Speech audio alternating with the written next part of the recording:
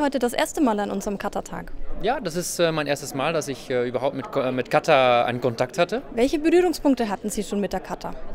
Ah, wir haben in Russland damals, wo ich im Werk das operative Geschäft geleitet habe, die ersten Erfahrungen gesammelt, haben auch damit den Kollegen die ersten Katas installiert.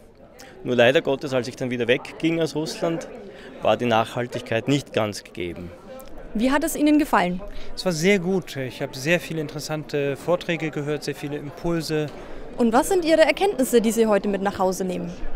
Meine Erkenntnisse sind, dass es nicht nur mit Lean Production äh, einen kontinuierlichen Verbesserungsprozess gibt, sondern dass Kata eigentlich ein gutes Instrument ist, um dort nochmal weiterzukommen, die Mannschaft mitzunehmen und auch hochfrequente Verbesserungsumsetzungen äh, zu gestalten.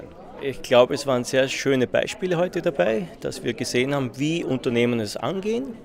Aber ich bin überzeugt, jeder muss seinen Weg gehen und diesen auch zuerst einmal suchen.